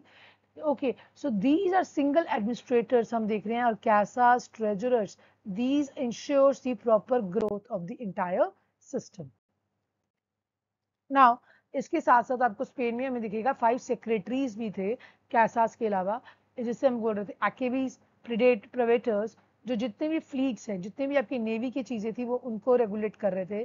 पोर्चुगीज कहीं ना कहीं बहुत सारी एक कॉलोनियल सोसाइटी स्टैब्लिश कर रहे थे, जो ब्लड सोशल रैंक और मैरिज स्टेटस कि आप जिस टाइप का आपका मटेरियल स्टेटस आप जिस सोसाइटी में आपकी मटेरियल शादी हो रही है, आपका सोशल और ब्लड रैंक एक बेसिकली सोशल स्टेटस पे उनको पावर दी जा रही थी।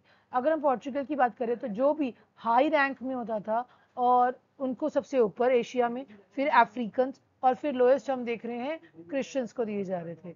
तो पोर्चुगीज कहीं ना कहीं हम देखते हैं कि कॉलोनीज को डिफाइड कर रहे थे चर्च नोबिलिटी ऑर्डनरी इन सब में डिवाइडेड थी। इट्स पूरा एक हिरारकाइज वर्जन आपको दिख रहा है पोर्चुगीज का। समवेयर दिस हिरारकाइज वर्जन जब बहुत ज़्यादा हिरारकी थी, तभी वो इसको कंट्रोल भी नहीं कर पाए। अगर हम स्पेनिश की बात करें तो स्कॉलर्स पर्टिकुलरली मानते हैं कि इस टाइम पीरियड पे हमें एक न्यू ओरिएंटेशन दिखती है स्पेनिश की। स्पेनिश क्राउन कहीं ना कहीं फाइनेंस नहीं कर रहा था। जितनी भी ये चीज़ है, क्योंकि हम बात करें, वहाँ पे सिंगल होल्ड हो रहा है। The single hold is already possible क्योंकि वहाँ फाइनेंस गवर्नमेंट नहीं कर रही थी। गवर्नमेंट ने कोलंबस के टाइम पे किया था but rest they back out that is somewhere companies का ज़्यादा था एंड समवेयर हमने देखा कि जब ब्रिटेन आएगा इंग्लिश ईस्ट इंडिया कंपनी आएगी तो वो भी फ्लरिश क्यों कर पाते हैं? जस्ट बिकॉज़ देयर प्रेजेंस इनकी प्रेजेंस की वजह से। सो so, पोर्चुगल में हम देख रहे हैं कि कहीं ना कहीं क्राउन का इनिशिएशन था और यहाँ पे नोबिलिटी क्लर्जी और एक रिच कॉन्क्वेस्ट था। अब स्पेनिश कॉन्क्वेस्ट ऑफ़ अमेरिका इसको हम इस एज को क्या बोलते हैं? द एज ऑफ़ कॉन्क्वेस्टिडोर्स इस एज को आप बोलेंगे age of conquistadors basically 1520 to 1550 माना जाता है कि बेसिकली यहाँ पे बहुत बड़ी झील थी कि दूसरी स्टेट्स कंट्रीज़ में जाना, उनको पाना और ये स्पेसिफिकली लिंक क्या किया जाता था? मूर्ज से मुस्लिम कम्युनिटी से, क्योंकि डायरेक्ट वॉर्ड्स हैं तो somewhere you block the route तुमने रूट ब्लॉक किया now we are going for the other reason no doubt हम देखते हैं स्पेनिश कॉन्क्वेस्ट कहीं ना कहीं एक एक एक्सपेंसिव सिविलाइजेशन और एक एक सोफेस्टिकेटेड कॉन्क्वेस्टिडोर का तरीका पैदा कर देता है। अब जब हम इस द कॉन्क्वेस्टिडोर मानते हैं, न्यू वर्ल्ड का 1521 में, ये बेसिकली हर्नैंडो कोट्स ने एजिटेक एम्पायर सबसे पहले सिक्योर लॉयल्टी इनकी पाई। तो कोलंबस ने डिस्कवर किया, पर लॉयल्टी एजडेक्स जो अमेरिकन सिविलाइजेशन थी, उनके साथ लॉयल्टी पाना, उनके साथ फ्रेंडली रिलेशंस मेंटेन करना, वो करते हैं हर्मैंडो कोट्स। आप हरवन से हरमैंडो कोट्स याद कर सकते हैं। ये इन्होंने पूरी कमीशन इस्टेब्लिश करी मैक्सिको में और नेटिव इंडियंस जो वहाँ पे लोग रह रहे थे, उनसे रिलेशंस बनाए। धीरे धीरे हम देखते हैं कि मैक्सिको सिटी पूरी इन्होंने डिस्ट्रॉय कर दी और अपने खुद क्या फिफ्टीन ट्वेंटी टू वहाँ पे न्यू फ़ेमस न्यू स्पेन बना लेते हैं। साथ ही साथ आप देखेंगे कि कुछ famous conquistadors Francisco Pizarro एक पेनामा सिटी को भी। तो इस लाइक बहुत लोग अपने अपने नामों से अपने अपने रिलेशन से नई सिटीज़ डिस्कवर हो रही थी। तो माई मैक्सिको पिजारो एल्वरा एल्वाडो क्वेस्कोसेडो मोन्टेजो यूटुकान सी सब कहीं ना कहीं हम देख रहे हैं कॉन्केस्टिडोर्स अपने आप से लड़ रहे थे बट स्पेन से नहीं लड़ रहे थे। स्पेन के लिए नहीं लड़ रहे थे स्पेन से नहीं लड़ रहे थे। दैट मीन्स क्योंकि अभी तक पोर्चुगीज में आपने देखा कि क्राउन से हो रहा है तो वहाँ पे तो जो भी होगा डिसीज़न वो क्राउन का होगा। One single authority but power जो है वो प्रॉपरली डिवाइड नहीं कर पाए। इन्होंने क्या किया? इनके स्पेन में कंपनीज़ हैं। तो सब अपना इंडिविजुअल जो जो निकला है वो उसके लिए अपने लिए लड़ रहा है। कोई एक प्रॉपर हिरारकी पोजिशन नहीं है। तो दिस इज़ समवेयर आपको जो स्पेन और पोर्चुगल का डिफरेंस मिलता है। जब हम स्पेन की बात करें तो इम्पोर्टेंस अगर हम इनकी रियलाइज़ करें तो यहाँ पे बहुत ज़्यादा रिच सिल्वर माइंस थी। बहुत अमाउंट में हम देखते हैं सिल्वर माइंस हो रही थी। सेकेंड रश आप बेसिकली देखेंगे कि जब होता है कि तब होता है जब बहुत ज़्यादा सिल्वर डिपॉजिट्स मिलने शुरू हो जाते हैं, Zacatecas, जुनजो, in New Spain Potosi, in Bolivia तो आप you we will see continuously ऐसी बहुत सारे रीजन्स में डेवलपमेंट हो रही थी। इससे क्या हो रहा था? डिमांड आती है कि जब न्यू एक्सपेंशन करेंगे न्यू टेरिटरीज बनाएँगे, बात आती है कि आप एडमिनिस्ट्रेटिव चेंजेस लेके आएँगे। तो this is a time period आप एडमिनिस्ट्रेटिव चेंजेस आ रहे थे। कैस्टिलियन नोबिलिटी इस टाइम पीरियड पे बहुत ज़्यादा हम देखते हैं लैंड की इंपॉर्टेंस हाईलाइट करती है और बहुत सारी आप देखेंगे कॉलोनीज बिकम मिक्स सोसाइटीज जितनी भी कॉलोनीज थी डिफरेंट सोसाइटीज की, वो करॉल्स मिजिटोस इन सब पे नेटिव्स पे रिलाई करके ये रिसोर्सेज बना रही थी। अब बात आती है मेन एस्पेक्ट्स ऑफ़ इकोनॉमी दिया अगर हम देखें तो कुछ चीज़ें आपको समझनी पड़ेंगी कि क्या कुछ इसमें मेन हमें there is an also policy of economy दिया अभी इकोनॉमी दिया क्या था? दैट इज़ जितने भी इकोनॉमी जितने भी स्पेनिश स्लेव लेबर्स थे, उन्होंने एक तरीका निकाला कि जितने जो कुछ ऐसे होंगे रिवॉर्डेड कॉन्करर्स आपने किसी के ऊपर राज किया तो अब आप लोगों, जितनी भी उनकी लेबर वेबर सब आपकी लेबर स्लेव्स जितने भी लोग होंगे, वो आपके होंगे। बट अब जो आपके स्लेव्स बनेंगे, वो कौन बनेंगे? That is non Christian people not the Christian people तो वो होंगे वो ऐसी they are two types of labour जब वो कॉन्क्वेस्ट करने निकलेंगे। तो ऐसा स्पेन के स्पेनिश की तरीका इकोनॉमी इंडिया से बहुत ज़्यादा लोगों में डिबेट चालू हो जाती है। तो और हम देखते हैं काफ़ी पावरफुल लॉर्ड्स इमर्ज होते हैं। बेसिकली हर्नैंडो कोर्स जिन्होंने he is the one who has established the new uh, first ever uh, ऐसी बहुत सारे ह्यूज अमाउंट में लैंड मास में आप देखेंगे एम्पायर में स्टैब्लिश होते हैं। तो जी एच पेरी एक इतिहासकार है अगेन आपको एक बात पता होनी चाहिए इनका भी नाम। जी एच पेरी बात करते हैं कि बेसिकली uh, ये कहते हैं कि इस टाइम पीरियड पे कॉन्क्वेस्टिडोर्स जो थे वो जितने भी कॉन्केस्टेडोर्स थे कन्वर्ट किए जा रहे थे ट्रिब्यूटरी विलेजेस इनटू इकोनॉमेंडियाज जितने भी जिनको ट्रिब्यूटरीज मतलब अब हम फ़र्क करेंगे, हम दो पॉलिसीज़ लाएँगे, जब इकोनॉमीडिया लाएँगे तो जितने भी आपको आज तक एडवांटेज मिल रहा था, आपको स्लेव नहीं बनाएगा पर जो क्रिश्चियंस को नहीं बनाया जाएगा but others are the base तो ऐसे इंडियन ओवरलॉर्ड्स विलेज सिस्टम ये सब हम देख रहे हैं, हम सोशल एक कॉलोनाइजेशन का पार्ट बन जाते हैं इस इकोनॉमेडिया की पॉलिसी से। इस इकोनॉमेडिया के आने से स्टॉक बहुत बढ़ जाता है एक्यूमुलेशन लोगों का capital because again this create an hierarchy and when you have a hierarchy you you may land on the state of capitalism और कैपिटलिज्म से आप बेटर सर्विट्यूड और बेटर थिंग्स आप ऑफ़र कर पा सकते हो। इंडियन पॉपुलेशन हम देखते हैं ऑलमोस्ट इस टाइम पीरियड पे बढ़ती गई मैक्सिको में ऑलमोस्ट हाफ़ तक बढ़ती गई। कैरिबियन आइलैंड्स में अमेरिकन पॉपुलेशन फर्दर इसका एडवांटेज आता है। स्पेनिश गवर्नमेंट कहीं ना कहीं one fifth of the pressures जितने भी मेटल्स थे, उनकी मोनोपली बढ़ती है और हम देखते हैं कि there started rely almost bullions इनकी स्मेल्टिंग पे और टैक्स कस्टम्स और इंटरनल कॉलोनियल ट्रेड पे लगाए जा रहे थे। अब जब इतनी सारी डेवलपमेंट्स हो ही रही थी तो कॉलोनियल ट्रेड की मोनोपोली शुरू हो जाती है। पहले तो सिर्फ़ पोर्चुगल स्पेन निकले हैं बट आगे भी दूसरों ने भी है ना, और इन दोनों के बीच में भी कंटिन्यूस फाइट है कि जितनी भी ये स्टेट्स एक्वायर करे that they other the other person against them will not be able to take out so हम देख रहे हैं कॉलोनियल ट्रेड बेसिकली इस टाइम पीरियड पे शुरू हो रहा था। इस basically कसूडो the merchant guild of Seville the कसूडो एक इंटरमीडिएरी हमें कहलाते हैं बिटवीन मर्चेंट एंड एडमिनिस्ट्रेशन ये एक बीच का रास्ता अपना रहे थे। टू ऑर्गेनाइज ट्रेड पूरे ट्रेड को संभालने के लिए उन्होंने स्पेनिश गवर्नमेंट की मदद भी लेते हैं। तो ऐसा नहीं था कि no doubt they are somewhere independent but sometimes even government is helping out fifteen और थ्री में कैसा द कॉन्ट्रैक्शन बनता है?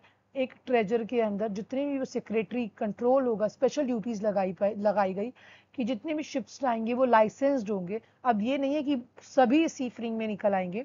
No doubt they are certain private individual but they are certain officials आपको कुछ स्पेसिफिक लाइसेंस लेने पड़ेंगे।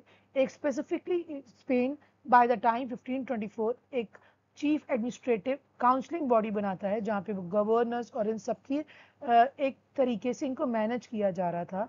Spanish colonies by the time हम देखते हैं वाइस रॉयल्टीज जो इनका एज ऑफ़ कॉन्क्वेस्टिडोर्स की जब हम बात कर रहे हैं तो वाइस रॉय वाइस रॉयल्टीज के बीच में डिवाइड कर दिया जाता है, जहाँ पे कांस्टेंट चेक्स हो रहे हैं। बिकॉज़ एक हेड जो होना हो रहा था that somewhere represent Spanish government and this is somewhere हम देख रहे हैं कि ये डिवीज़न होते जा रही थी। बट बाय द 1530s ये इकोनॉमीडिया का प्रोसेस धीरे धीरे डिक्लाइन होता जाता है और इन बाय अनदर इंस्टीट्यूशन जिसे बोलते हैं कोरेंगमेंटी सॉरी कोरेंगमेंटोस दी इंडोस ये क्रिएट होता है। इसमें जितने भी रॉयल ऑफिशियल्स होते हैं हम्म, उनको इकट्ठा किया जाता है वो मिल के और जो जितनी भी सर्विसेज़ होंगे ट्रिब्यूट्स होंगे दे रियलाइज़ कि स्पेनिश गवर्नमेंट कहीं ना कहीं एक कॉलोनियल कोड और न्यू लॉज लेके आ रहा था। तो now somewhere we will see कि पावर ये सब स्ट्रेट ऑर्गेनाइज आती जा रही थी। बेसिकली जो अथॉरिटी है, वो आप देखेंगे दो दो तरीकों से आ रही थी। एक तो स्पेन की टाइप में आ रही थी, जहाँ वो कॉलोनीज और ये सब मैनेज करेंगे। अनदर इज़ द वो न्यू सिस्टम ला रहे थे, जहाँ पे कमिश्नर से कॉलोनियल गवर्नमेंट थे विस्टाडो विस्टाडो they are the ones they are the officials basically inspection करेंगे कि अगर आप कोई पॉलिसी लेके आ रहे हो तो आप सही कर रहे हो। फिर ऐसे और भी आगे लगे रेजिडेंशिया जहाँ पे आप देखेंगे कि जितने भी एडमिनिस्ट्रेटिव एंड जुडिशियल ऑफिशियल्स हैं। सो बिकॉज़ एक टाइम पे आपने कॉलोनीज बनाने लिखे थे सिर्फ़ ट्रेड के लिए। बट अब वो वर्ल्ड को रिप्रेजेंट कर रहे हैं कि हम क्या और कैसे रूल कर रहे हैं और क्या हमारा रूल आइडियोलॉग प्रेजेंटेशन है। So these things further began to affect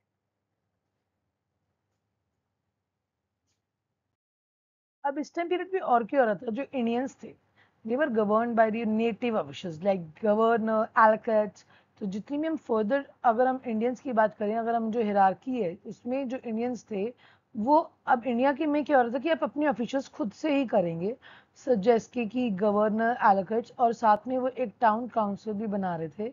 ये काउंसिल हम देखते हैं, हर हम साल मिलती थी। साथ ही साथ उसमें peasants householders legal householders enrolled होते थे। टू रजिडरॉस भी होते थे म्यूनसिपल मजिस्ट्रेट जो आपका जो एम ये सब काम करते हैं। सो so, यही हम देख रहे हैं स्पेनिश कॉलोनीज डिस्ट्रिक्ट का भी हमें देखने को मिलता है जो डिफरेंट डिफरेंट कंट्रीज़ में थी। साथ ही साथ आप देखोगे कि वेस्ट इंडीज या इन सब की बात कर रहे हैं इंडीज इन दी अमेरिका आपका इमरजेंस हो रहा था। साथ ही साथ ऐसे बहुत सारे आप देखेंगे कि गवर्नमेंट जो है टाउन में ऐसा सिस्टम निकाल रही थी कि नोबिलिटी आ रही है, हर एक कॉलोनी का कहीं ना कहीं रीजनल बेस हो रहा था अपना कंट्रोल करने का। जो नेटिव पॉलिसी है, हम देख रहे हैं कि कि खुद भी सब्जेक्ट्स इन्वॉल्व होंगे अपने रूलिंग शिप में इस तरीके से कहीं ना कहीं इनको, इनकी जो प्रॉपर्टी होती थी, वो बच जाती थी। ना कि जो प्रॉपर्टी बच रही थी, साथ ही हम देख रहे थे कि लॉज प्रोवाइड हो रहे थे, जहाँ पे इकोनॉमी अप्लाई हो रही थी पर्टिकुलरली प्रॉपर टैरिफ्स लगाए जा रहे थे आइबेरियन स्टेट्स जहाँ थी, जो थी आपकी स्पेनिश और पोर्चुगल, वो अपना ट्रेड का शेयर बचा के रख रही थी precious metal and commercial monopolies जो बड़े बड़े ट्रेस की ट्रेड की एक एक मोनोपली थी, वो भी वो बचा के रख रही थी। साथ ही साथ हम देखते हैं कि ये बहुत सारे हमें टाइप्स की कॉलोनीज यहाँ पे देखने को मिलती है। स्पेनिश कॉलोनीज बात की करें तो मैक्सिको और पेरू में वो एक ऐसे काम कर रही थी मिक्स्ड कॉलोनी कि जहाँ पे कुछ हम देख रहे हैं कि माइनॉरिटी है, जो वाइट सेटेलाइट्स की बहुत छोटे जो स्पेस पेनियार्ड से आ रहे हैं, वो आके उन्होंने स्टैब्लिश कर दी। और कुछ आप देखोगे फिलीपींस और अमेरिका में सेटलमेंट्स कहीं ना कहीं स्पेनियार्ड्स के अंडर रूल नहीं कर रहे थे बट ये just a part of occupation कि कुछ फ्यू कुछ सेटलर्स को ऑक्यूपाई कर लिया तो आप मिक्सड कॉलोनीज देखेंगे कि जहाँ पे दो कॉलोनीज दो स्पेसिफिक जगहों को ले लिया, साथ में कहीं सिर्फ़ ऑक्यूपेशन ऑक्यूपेशन जैसे कि आपने कुछ लोगों को हायर कर लिया। Locally loosely supervise proper supervise नहीं कर रहे। कुछ आप देखोगे, जैसे ब्राज़ील काली कॉलोनीज थी, वो प्लांटेशन इकोनॉमी पूरी इकोनॉमी बेस्ड यूरो थी, जहाँ पे वो मेट्रोपॉलिटन एक मेट्रोपोल सिविलाइजेशन मतलब स्पेन के लिए प्रोडक्शन कर रहे थे। हम तो जब ब्राज़ील की बात हम करते हैं तो इस टाइम फिर पे बहुत ज़्यादा प्लांटेशन इकोनॉमी हो रही थी। साथ ही साथ आप देखेंगे नीग्रो स्लेव्स जो हैं, वो कहीं ना कहीं अफ्रीका से शुगर प्रोड्यूस कर रहे थे माइंस के लिए मार्केट्स के लिए एंड दैट फर्दर सीडेड अब ये अलग अलग जो कॉलोनीज तो आ रही थी, इसके साथ साथ हमें बात करते हैं स्लेव ट्रेड की स्पेसिफिकली प्लांटेशन और माइनिंग में। जब प्लांटेशन एंड माइनिंग अमेरिका में हम देख रहे हैं शुगर और स्लेवरी की अगर देखें तो वो कहीं ना कहीं बहुत बहुत लंबे समय से ये लिंक्ड है। शुगर रिस्पॉन्सिबल था एग्रीकल्चर स्लेवरी के लिए। क्यों? क्योंकि अगर अफ्रीकन स्लेव्स जो थे, वही अमेरिका में जाके उन्होंने रिप्लेस किया और शुगर में शुगर की production and the something licensing system हम देख रहे हैं, शुरुआत बेसिकली शुगर से ही होने लगती है। फर्दर जो ट्रीडी ऑफ़ टॉडसेस थी, वो हम देख रहे हैं। ऑल दो इस टाइम पीरियड पे उसकी बहुत ज़्यादा डिबेट होने लगती है 15 18 15 20 के आते आते कि कितनी स्लेव्स जो ये अफ्रीका के स्लेव्स है, उसकी होल्डिंग किसके पास कितनी रहेगी? हम देखते हैं this is somewhere a process of colonisation ये एक तरीके से क्या हो रहा था कि जब स्लेवरी है स्लेवरी कहीं ना कहीं बहुत दूर के रीजन से ट्रांसपोर्ट करके यूरोपियंस अपनी प्लांटेशंस बनाए जा रहे थे। तो this is something a very long process और this is the entire process of colonisation जब हम कॉलोनाइजेशन की बात करते हैं तो ये स्लेव ट्रेड पे ही बेस था। नीग्रोस कहीं ना कहीं इस पूरे सोशल और एटलांटिक आइलैंड्स का इंपॉर्टेंट रोल प्ले करते हैं। अब हम बात करें इन्फ्लक्स ऑफ़ स्लेव्स बेसिकली ये जो टाइम पीरियड है यहाँ पे आप बहुत देखेंगे कि फ्री लेबर्स ह्यूमन फार्मर्स इस टाइम पीरियड पे आ रहे थे, जो अमेरिकन कॉलोनीज में बहुत ज़रूरी थी। साथ ही साथ आप देखेंगे शुगर टबैको कॉटन रेपामेंटो गैंग्स कहीं ना कहीं ये रिस्पॉन्सिबल थी कंटिन्यूस लेबर शुगर प्लांटेशन के लिए। कि आप कंटिन्यूसली देखो कि इन सबको यही चीज़ जगहें थी जो प्रोड्यूस कर रही थी and that further seeded and give the negro slaves giving them an best option negro slaves ऐसा बन चुका था चीप था, पूरी कंट्री में आप कहीं भी ट्रांसपोर्ट लंबा ज़रूर है इनको ट्रेड और ट्रैवल कराना, पर आपने एक बार इनको ट्रैवल कराया तो ये आपका, ये बेस्ट बन जाता था। ठीक है उसके बाद हम देखते हैं कि फर्दर आप इसमें अलग अलग चेंजेस देखने को हमें मिल रहे थे। ये अलग अलग चेंजेस सब समझने की। कॉलोनाइजेशन से हमने देखा कि स्लेवरी स्लेवरी बहुत रिस्पॉन्सिबल थी। साथ में हम देखोगे बारबरा सोलो बात करते हैं कि ये सब चीज़ें ये डिनाई नहीं कर सकते कि स्लेवरी और कॉलोनियल डेवलपमेंट ये कहीं ना कहीं एक्सीडेंटल नहीं है। दिस इज़ अ प्रोसेस दो, क्योंकि जब कॉलोनियल डेवलपमेंट करने निकले वो, तब उन्हें क्या चाहिए थे? उनको स्लेव्स निकले और स्लेव के मिलने से हम देख रहे हैं अबैंडेंट अमाउंट में हमें ऐसी एक्सपेडिशन और एक्सप्लोरेशन करने को, देखने को मिलती है। शुगर में हम देखेंगे कि यूरोपियंस कहीं ना कहीं एक प्रॉफिटेबल उनको क्रॉप्स मिल रहे थे स्लेव्स मिल रहे थे और एक नई स्लेव लेबर फोर्स की शुरुआत इससे देखने को मिलती है। कुछ ऐसे स्कॉलर्स मानते हैं कि जो अफ्रीकन स्लेव्स थे बेसिकली वो इस टाइप की इसमें अमेरिकन वैल्यू बिकॉज़ इन्हीं के कारण आपको पैसा मिल रहा है, इन्हीं के कारण आपको मिल रहा है। कि आपकी जितना भी इंटरनेशनल कैपिटलिज्म सिस्टम था, वो हम देखते हैं इन्हीं के कारण शुरू होता है। वेलन स्ट्रीम मानते हैं कि कहीं ना कहीं कैपिटलिज्म कोई एक सिंगल सिस्टम नहीं है। ये स्लेवरी से शुरू होता है इज़ इन समथिंग कि कैसे एक्सप्लोटेशन करा जा रहा था कि वे स्लेव अब जब आप बाहर निकले हो कॉलोनीज दूसरे लैंड को हथियाना, उसके ऊपर रूल करना रूल के साथ साथ अब तीसरी चीज़ ऑटोमेटिकली वेलेंस्ट्रीन मानते हैं कि स्लेवरी एक ऐसा रोल प्ले कर रहा था कि कैपिटलिज्म आ रहा था और फ्री लेबर वेज लेबर उसको एक्सप्लॉयट कैसे करना है? तो कॉलोनियल एक्सप्लोरेशन हुआ, उसमें स्लेवरी आई और उसने कैपिटलिज्म की एक शुरुआत कर दी। Robert Fogel and Stanley Engerman कहते हैं कि इस टाइम पीरियड पे हमें क्वांटिटिव टेक्निक्स ये चीज़ें थी, जिससे कि इकोनॉमिक हिस्ट्री में अगर हम देखें क्लेम की जा रही थी कि कैसे अमेरिकन स्लेव जो पॉपुलेशन है या प्लांटेशन है, वो कैपिटलिस्ट एंटरप्राइज को हथिया पा रही थी। तो अब हम देखते हैं कॉलोनिज्म और स्लेवरी का, जैसे कि अभी हम बात कर रहे थे रिलेशन है और एक कैपिटलिज्म इंडस्ट्रियलाइजेशन की तरफ़ लेके आने की। बट जब बहुत ज़्यादा हम देख रहे हैं कि दास, एक दास संभवता बढ़ती गई तो कुछ ऐसे नेगेटिव कमेंट्स नेगेटिव फ्रेमवर्क कुछ लिटरेचर ऐसा लिखे जाना लगा, जो बात करने लगा कि अब ये स्लेवरी को ख़त्म करो। पहली बात तो जो कॉलोनीज आगे बन नहीं पाई थी तो वो देख रही थी कि ये कॉलोनीज इसीलिए प्रॉस्पर कर पा रही कि स्लेवरी है। दूसरी तरफ़ हम देख रहे थे कि specifically being a moral duty slavery कहीं ना कहीं एक ऐसा एट्रोसिटीज डोमिनेशन और सिर्फ़ हम देख रहे हैं कि लोगों का जो निचला तत्व है, उनको कैसे उनके ऊपर पावर जमाने के लिए बात हो रही थी। थॉमस हॉब्स का इस टाइम पीरियड पे ही काम आता है लेविथियम जो प्रेजेंट करता है एक सोसाइटी की न्यूट्रल सोसाइटी कि जहाँ पे सब इक्वल हैं, कोई भी मतलब that is we are also part of a social contract मतलब एक सोसाइटी में आप सोशल कॉन्ट्रैक्ट हो, जो आपने रूलिंग सोसाइटी बनाई है, वो हमारे, हमने बनाई है, क्योंकि हमने चूज़ किया कि आप हम पे रूल करो और आप हमें प्रोटेक्शन राइट्स दोगे।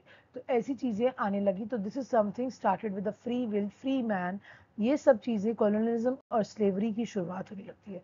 तो हम देख रहे हैं जो ये वॉयजेस कर रहे हैं, वो उपनिवेशवाद की भी बात करता है और स्लेवरी की भी बात करता है। अब ये कॉलोनल वॉयजेस ने कहीं ना कहीं कॉलोनाइजेशन कॉलोनीज बनाने में करते हैं। दो, हमें पता है कि कमर्शियल एक्टिविटीज़ के लिए निकले थे but after some time this mercantilism के साथ साथ दूसरी एक्टिविटीज़ पे भी ये ध्यान देने लग पाते हैं। वेल स्ट्रीम कहते हैं कि कॉलोनियल ट्रेड कहीं ना कहीं बहुत बड़ा इंपॉर्टेंट रिस्पॉन्सिबिलिटी रखता है कैपिटलिस्ट इकोनॉमी के लिए। मेडिटेरेनियन इकोनॉमी हो रही थी कॉन्कस्टी डोर जो ये पूरी एज के लाती है। This is somewhere the economic but आप हम ये नहीं भूल सकते कि this is crusade that lay out the religious and the political aspects as well तो ये सब चीज़ें कहीं ना कहीं एक दूसरे से रिलेटेड थी। ये कोई एक कारण नहीं बन रहा था। इसके अलग अलग हमें कारण देखने को बनते हैं। Sometimes this is also part of अब जब इंपीरियलिज्म हो रहा था दैट मीन्स इंपीरियलिज्म मतलब आपने दो कल्चर भी एक्सचेंज हो रहे होते हैं। तो इंपीरियलिज्म में बात करते हैं तो इकोलॉजिकल इम्पीरियलिज्म भी हो रहा था। सिर्फ़ दो कल्चर एक पॉलिटिकल गोल्ड गॉड ग्लोरी तीन जी ही नहीं थे बट ऑल्सो हम देखते हैं कि इन्फेक्शियस डिसीज और इन सब चीज़ों की भी भाई ये चीज़ें फैल रही थी।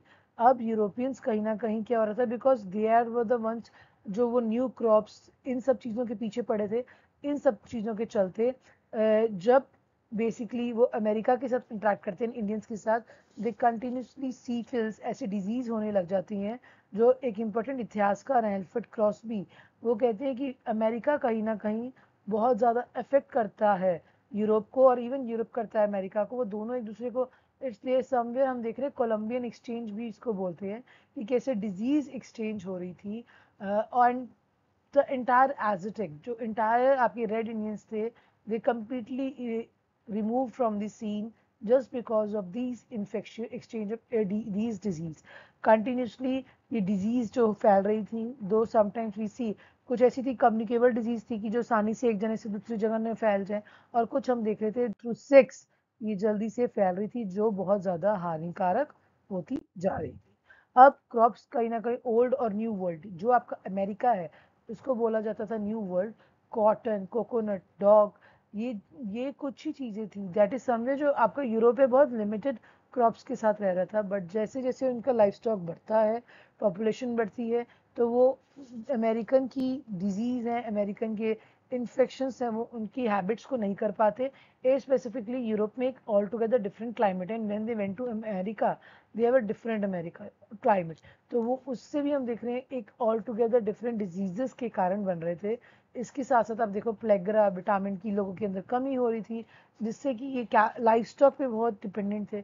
अब मीट खा रहे हैं तो मीट में भी जो भी प्रॉब्लम्स है that is somewhere culminating into their bodies तो हम देख रहे हैं इससे कहीं ना कहीं जो वेजिटेशन है खान पान है, उसमें बहुत ज़्यादा तकलीफ़ हो रही थी। बट दो, इससे हम देख रहे हैं कि एनिमल्स के ऊपर बहुत ज़्यादा सॉरी ह्यूमन बींग पॉपुलेशन पे बहुत ज़्यादा कारण बन रहे थे। ऑल दो सारे हिस्टोरियंस मानते हैं कि जो ये सब शुरुआत हुई कॉलोनी वॉयजेस हम मान रहे हैं पॉपुलेशन एक्सप्लोजन हो रहा था, लोग यूरोप में लैंड छोटा पड़ रहा था दैट्स वाई माइग्रेट होना शुरू किया। बट इसके साथ साथ yellow fever smallpox measles plague chicken pox malaria ये सब फैलता गया। जितनी भी आप देखेंगे कि कॉलोनीज और कॉन्क्वेस्ट करते करते न्यू वर्ल्ड में हम देख रहे एक अट्रैक्शन बन गया लैंड का फार्म्स का और प्लांटेशन ऑफ़ न्यू कॉलोनीज की नई नई कॉलोनीज की प्लांटेशन भी शुरू होती थी अब अमेरिका में हम देख रहे हैं नेटिव पॉपुलेशन कहीं ना कहीं का कम होती गई। एंड देयर समवेयर एमलैंडियम और अफ्रीकन स्लेव्स का भी डिस्प्लेसमेंट हो रहा था।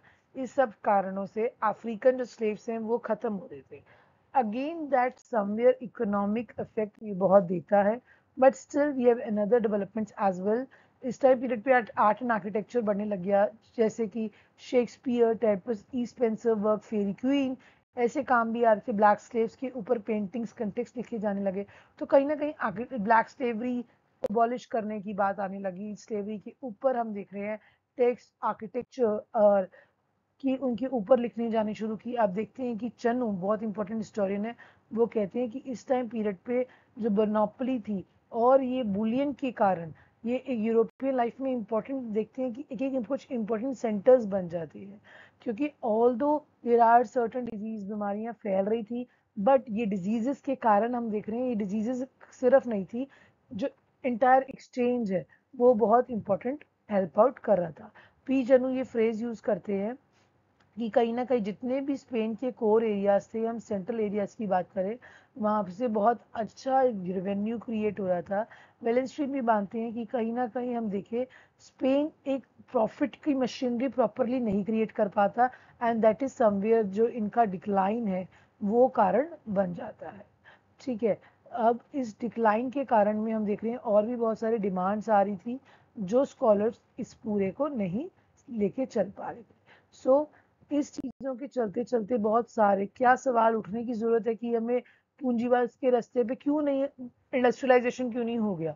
कॉलोनाइजेशन इतनी डेवलप क्यों नहीं कर पाई? सो so, ऐसे बहुत सारे हिस्टोरियंस हैं G G G H Eliot Charles भी वो मानते हैं कि कहीं ना कहीं इंपीरियलिज्म ने हेल्प आउट किया कि अमेरिका की सिल्वर को फाइनेंस करने में, पैसा बनाने में। सिक्सटीन सेंचुरी में जब कहीं ना कहीं यूरोप में डिक्लाइन हो रहा था तो नो डाउट स्पेनिश के पास कहीं ना कहीं सिल्वर स्पून था। ट्रेड थी कॉलोनीज थी। तो उनसे ऑटोमेटिकली वो एक्सपैंड हो रहे थे इकोनॉमिक रिलेशंस बढ़ रहे थे। बट इकोनॉमिक रिलेशन के साथ साथ हमने देखा कि कहीं ना कहीं डिज़ीज़ इनको खराब कर रही थी और ये एक टाइम पे अपने जो हमने पहले भी पढ़ा कि जो इनका डिवीज़न था, वो उसको प्रॉपर मेंटेन नहीं कर पा रहे थे स्पेनियार्ड्स जिसके कारण डिक्लाइन होने लग जाता है। ऐसे तो बहुत सारे हिस्टोरियंस हैं। अनदर आप देखेंगे पोमोरेंस का पर्सपेक्टिव है, वो मानते हैं कि इस टाइम पीरियड पे कॉलोनिज्म एंड स्लेवरी कहीं ना कहीं वो दोनों बहुत इंपॉर्टेंट रोल प्ले करते हैं इंडस्ट्रियल कैपिटलिज्म में। एक नई इंडस्ट्री इंडस्ट्रियल ग्रोथ की शुरुआत करने में ये इंपॉर्टेंट रोल प्ले कर रहे थे। दो हम देखते हैं कि बहुत, कोई एक स्पेसिफिक अनलिमिटेड क्वेस्ट नहीं रहता।